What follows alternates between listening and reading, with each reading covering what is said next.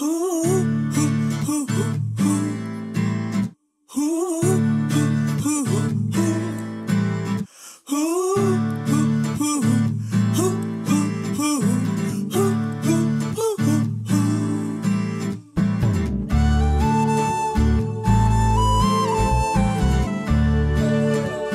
Hi Angeles நாங்கள் லவன்யா யோஜின் இன்னைக்கு என் students கிட்ட ஒரு முக்கியமான விஷயத்தை பத்தி நாங்க டிஸ்கஸ் பண்ணிட்டு இருந்தோம்.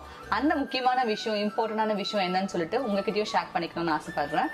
ஸோ ப்ராக்டிஸ் இந்த ப்ராக்டிஸ்ன்ற விஷயம் வந்து பாத்தீங்கன்னா ரொம்ப ரொம்ப ஒரு தேவையான ஒரு விஷயம்னு சொல்லலாம். இந்த இண்டஸ்ட்ரிக்கு மட்டும் கிடையாது. நீங்க எந்த துறையில போனாலுமே ஒரு விஷயத்தை எடுத்து நம்ம ப்ராக்டிஸ் பண்ணாதான் அதோட அவுட்கம் வந்து பாத்தீங்கன்னா ரொம்பவே பெஸ்டா வரும். இனிஷியல் பீரியட்ல பாத்தீங்கன்னா நான் லைக் ஐ மேக்கப் எனக்கு வந்து நிறைய ஐ மேக்கப் ப்ராக்டிஸ் பண்ணணும்னு ரொம்ப ஆசை. என்னோட ஸ்டூடெண்ட் சொல்றது எல்லாமே வந்து பாத்தீங்கன்னா மேம் நீங்க மட்டும் இப்படி ஐ மேக்கப் இவ்வளவு பியூட்டிஃபுல்லா பண்றீங்க. எப்படி இந்த கலர் காம்பினேஷன்ஸ் எல்லாம் சூஸ் பண்றீங்கன்னு சொல்லிட்டு நிறைய பேர் என்ன கேட்பாங்க. ஸோ இதுக்கு வந்து முக்கிய காரணம் வந்து பாத்தீங்கன்னா ப்ராக்டிஸ் மட்டும் தாங்க ஸோ நான் ஆரம்ப காலத்தில் எல்லாருக்குமே தெரியும் சலூனில் ஒரு மேனேஜராக ஒர்க் பண்ணேன். என் சலூன் வேலைகள் எல்லாம் வந்து ஒரு ரெண்டு மணி நேரத்துலேயே நான் கம்ப்ளீட் பண்ணி முடிச்சிருவேன். அதுக்கப்புறமா வந்து லைக் ஒரு பையன் பொண்ணுன்ற வேரியேஷன்ஸ்லாம் எனக்கு கிடையாது.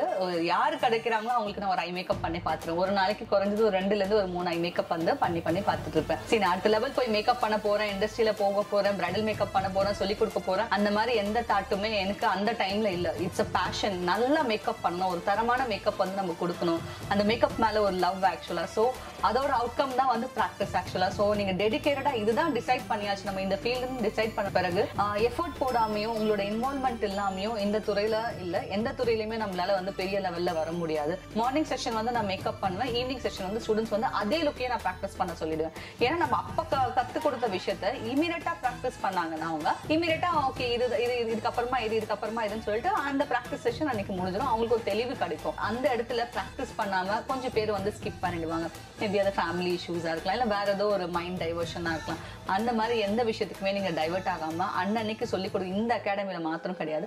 எங்கே படிச்சிங்கனாலுமே வந்து அன்னன்னைக்கு சொல்லிக் கொடுக்குற விஷயத்த அன்னன்னைக்கு ப்ராக்டிஸ் பண்ணிட்டாலே நீங்கள் உங்கள் லைஃப்பில் நெக்ஸ்ட் நெக்ஸ்ட் லெவல் கண்டிப்பாக போக முடியும். மேக்கப் மாஸ்டராக ஆகணும்னு நினச்சிங்கன்னா அதுக்கு ப்ராக்டிஸ் ரொம்ப ரொம்ப இம்பார்ட்டன்ட் ஸோ டெடிகேட்டடாகவும் பேஷனேட்டடாகவும் நீங்கள் ப்ராக்டிஸ் பண்ணீங்கன்னா கண்டிப்பாக அடுத்த லெவல் போக முடியும். சண்டாலி வாசத்திர அழகுல லேசாகி ஏந்தி பகலத்தனையும் லூசாகி பய கிடக்குற தரையில பேசாகி. சண்டாலே சிரிப்புல பறக்குற தூசாகி நான் செவத்துல விட்டெறிஞ்ச காசாகி கொடி பிடிக்கிற நினப்புல மாசாகி. கையுங்காலும் ஒன்ன கண்டு ஓடவில்லடி ரவந்தும் கூட கண்ணு ரெண்டு மூடவில்லடி. பாவி முள்ள புட்டடி தெரியலடி புரியலடி உன் இரு விழி மனுஷன இடுப்புல தூக்குறடி. சண்டாளி மாசத்துற அழகுல லேசாகி என் பகல் அத்தனையும் லூசாகி பயகடக்கிற தரையில பேசாகி. சண்டாளி உன் சிரிப்புல பறக்கிற தூசாகி நான் செவத்து